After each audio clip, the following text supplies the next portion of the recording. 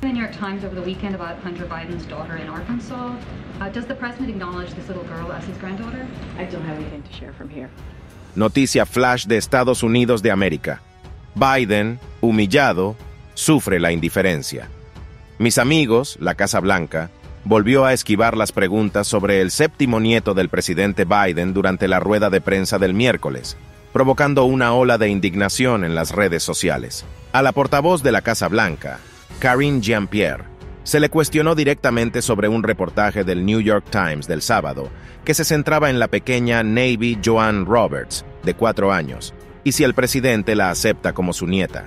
¿Reconoce el presidente a esta niña como su nieta, la hija de Hunter Biden en Arkansas?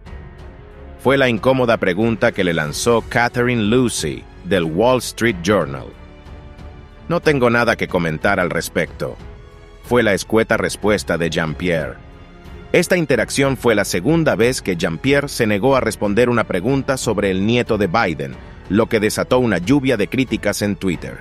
Los Biden le pusieron un calcetín navideño al nombre del perro, y el presidente no reconoce a su propia nieta.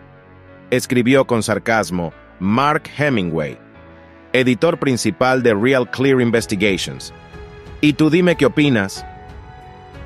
Únete a la comunidad de noticias republicanas sin censura y mantente informado con la verdad detrás de las noticias en Estados Unidos de América. Te esperamos.